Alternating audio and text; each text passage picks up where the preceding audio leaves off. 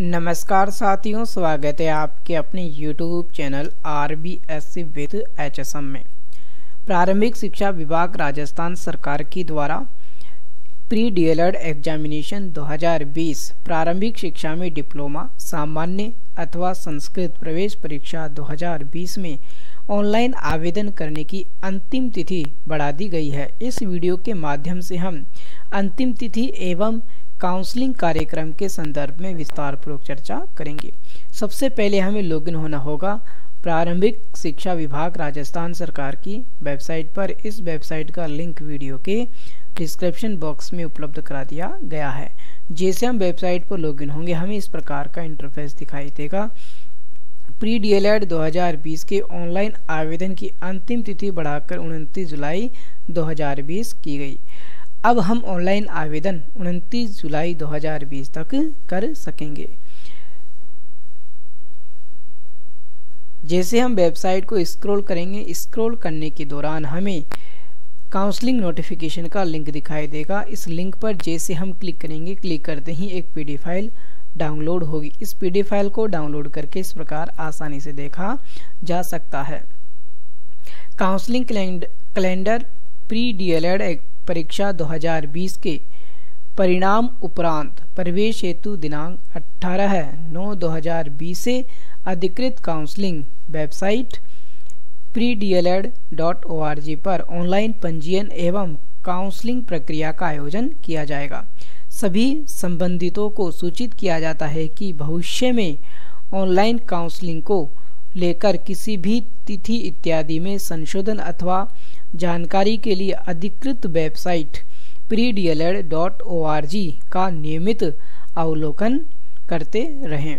इसी उद्देश्य से पृथक से समाचार पत्रों में विज्ञापन प्रकाशन नहीं किया जाएगा। तो यहाँ पर विशेष तथ्य हैं, ध्यान देने कि काउंसलिंग के संबंध में किसी भी प्रकार की जानकारी समाचार पत्रों में विज्ञापन के माध्यम से नहीं दी जाएगी।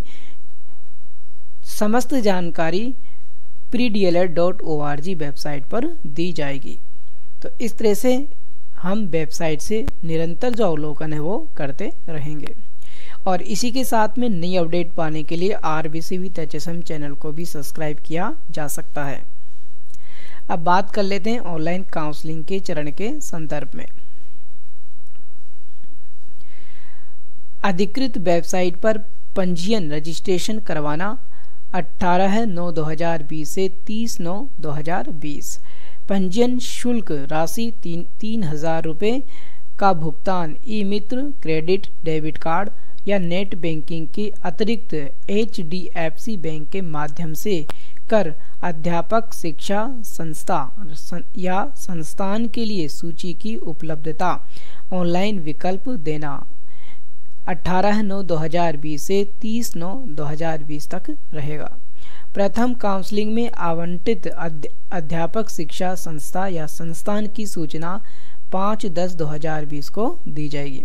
प्रवेश हेतु शेष शुल्क राशि बैंक में जमा करवाना सात दस 2020 से 15 दस 2020 प्रथम काउंसलिंग पश्चात आवंटित अध्यापक शिक्षा संस्था संस्थान में रिपोर्ट करने की तिथि सात दस दो हज़ार बीस से पंद्रह दस दो हज़ार बीस। अपवार्ड मूवमेंट हेतु आवेदन हम 20 दस 2020 से 21 दस 2020 तक कर सकते हैं। अपवार्ड मूवमेंट में आवंटित अध्यापक शिक्षा संस्थान की सूचना 25 दस 2020 तक दी जाएगी।